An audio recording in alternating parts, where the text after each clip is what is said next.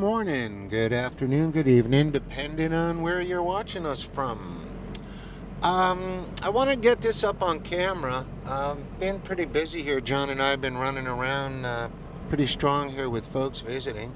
Anyway, I'm back here at uh, Boca Beach in La Entrada, and uh, many of our present, past, and future participants uh, already know about this little beach. Well, not so little. But uh, this is a typical day here, okay? Uh, I'm here around 11 o'clock ish, so it's a typical day. So when you come during the weekdays, when I tell you one of eight beaches, uh, they're all near empty and you have the place to yourself, which is incredible. But that's not the reason for this film. Uh, what I wanted to do was, I was here, I think it was with uh, two really great folks, uh, Cassandra and uh, her husband, um, Christian. And uh, we were here and just showing them around, and uh, they really seemed to like the place a lot. But I'm over here by Broken Bridge and what have you.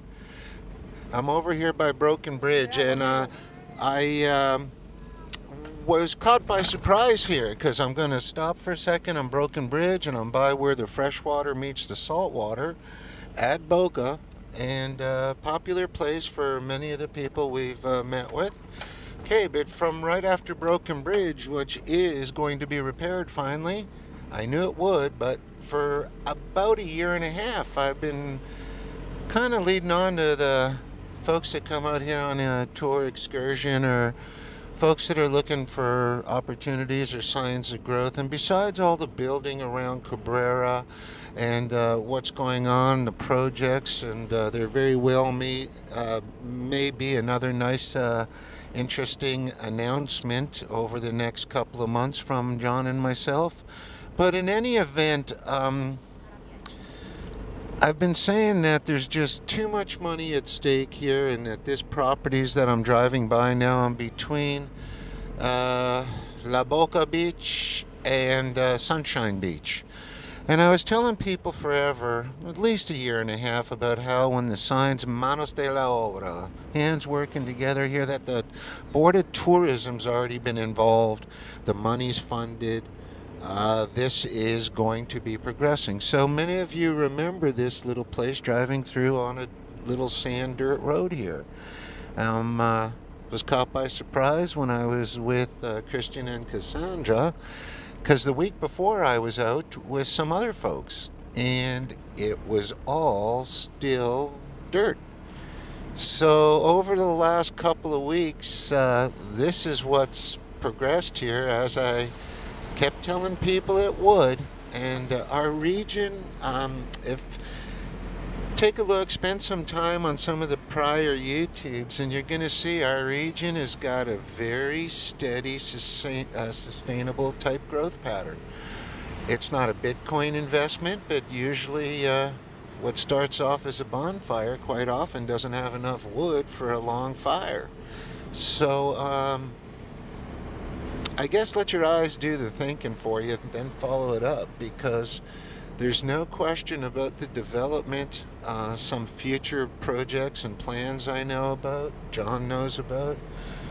There's no question about the growth is continuing in this region, and I, I just wanted to uh, drive by here and give you guys a, a nice little look see because it, it's. Uh, it's quite astounding, actually, and I'm really glad for all the people that we've helped relocate here and maybe all the ones in the future. Uh, just to catch you guys up, uh, finally, sometime, I won't say when, but sometime in June, Leanne and I are finally taking uh, a week away or near a week and going back uh, home to Canada. For me, it's going to be interesting. Uh, aside from one trip to Timmins, it's been years since I've been back there many years. so it'll be interesting. I'm really going to have to pay attention to my driving because, as you can see, I'm even driving on the wrong side of the road now to give you guys a better picture.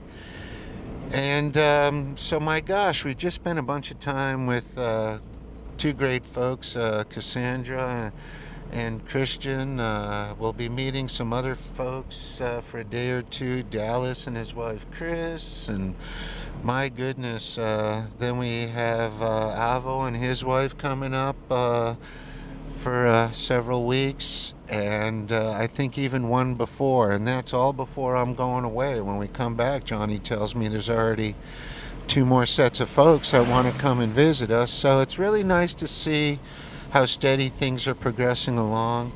Um, we've been so busy besides with the folks keeping the YouTube channel going, of course. Uh, thank you guys for everything. We'll, we'll be at a thousand subscribers real soon. And uh, for a little town like Cabrera that covers basically Cabrera, Rio San Juan, does throw in the entire country, but more as a visual information type basis than really concentrating on it. Uh, that's liable to change in the near future too, but I can't say anything about that. But in another particular area, very much like Cabrera was uh, only eight, ten years ago. And I'm not saying that Cabrera is overgrown, it hasn't even really begun, in my opinion. It's just starting to take off now. But uh, I've been involved with a lot of the paving uh, with Agapito and uh, it was a little over 54 kilometers of paving we did in the mountains, and they sent me out there to make sure the caliche, the pack rock dump trucks were uh, doing it every, you know, let's say 50, 50 feet or something like that. Because uh, you could tell these workers to do that. You know, hey, it's the same everywhere. I don't care if it's the Caribbean or not. And uh, sure, the first two loads, uh, a caliche will be at 50 feet, but the next one's at 85, and the one after that's at 32, and so on. And when you're doing over 50 kilometers, it's got to be even, or you're doubling your project time because of what the machines need to do to level it out if it's not dumped at an even interval. Anyway, so that's what's been keeping us busy. We're looking forward to seeing all you guys. The progress is going on, very sustainable rate. The weather's getting warm, getting a little bit more humid. This is a picture perfect day. The sun, I mean, the wind's barely even moving anything, just enough to keep it cool. And uh, we're back on where they had paved about two and a half years ago. So I really wanted to bring this to all of our valued subscribers uh, about the fact that my gosh, uh, things are progressing.